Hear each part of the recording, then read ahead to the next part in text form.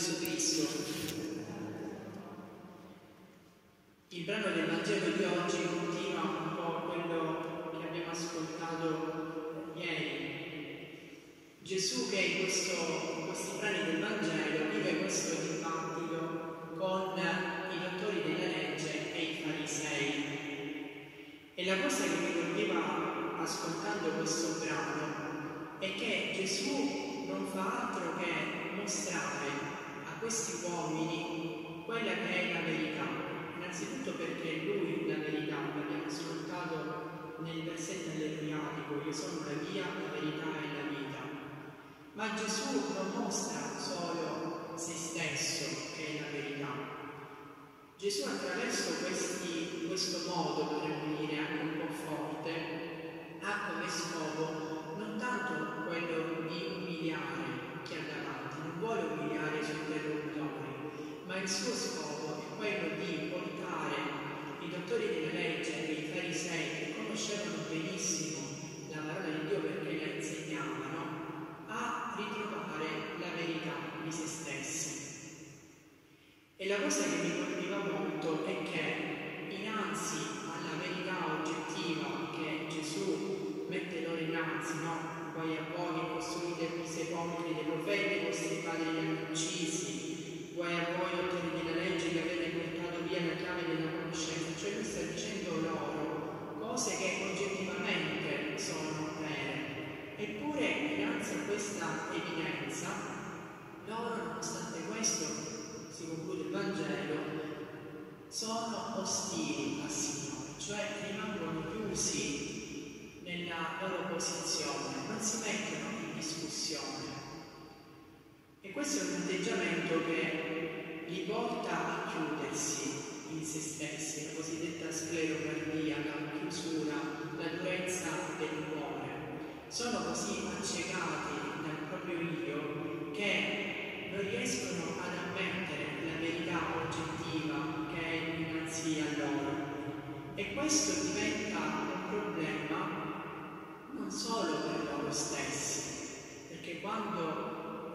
ci si pone così dinanzi alla verità, quando non si vuole lasciar mettere in discussione dalla verità, ma si vuole rimanere fissi nelle proprie posizioni, certamente questa cosa non permette la relazione, no?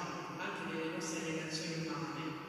Se noi non ci lasciamo mettere in discussione anche dagli altri, tante volte magari gli altri ci correggono,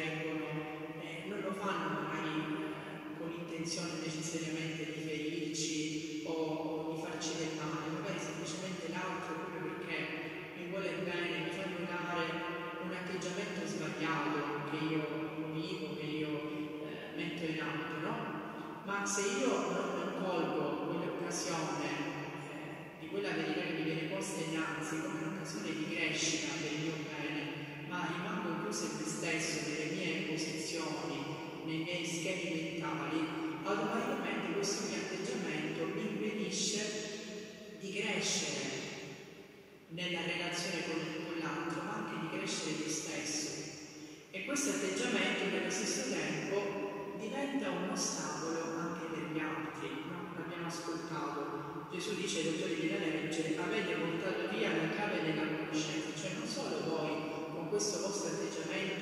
vi private di conoscere di conoscerti. E nella Bibbia quando si parla di conoscenza non si fa riferimento alla conoscenza come la intendiamo noi, il sapere intellettuale, ma nella Bibbia la conoscenza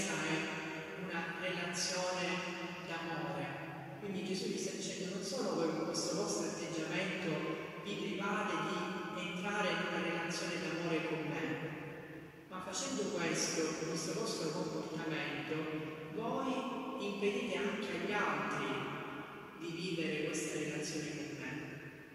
E questo ci deve interrogare, ci deve far prendere consapevolezza del fatto che noi siamo i responsabili degli altri. Noi siamo chiamati a custodire gli altri, non solo noi stessi.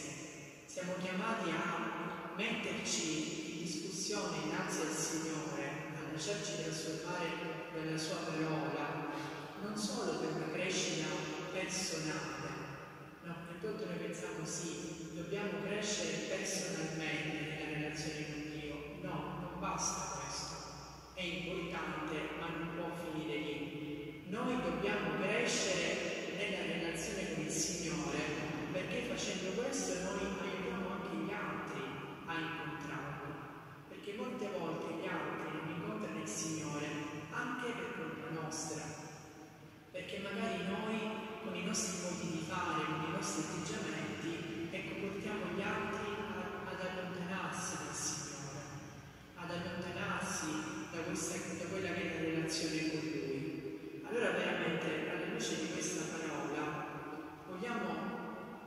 rivestere oggi questa grazia, la grazia dell'umiltà del cuore, cioè la grazia di fare nostro quell'atteggiamento di chi si lascia mettere in discussione dalla parola di Dio.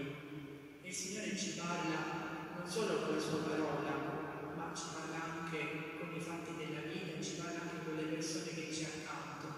Solo se noi abbiamo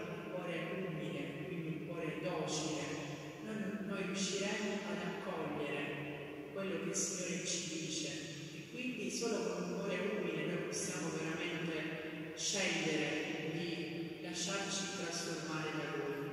Quindi chiediamo al Signore proprio in questa Eucaristia il dono della lucidità del cuore, sia lodato Gesù Cristo.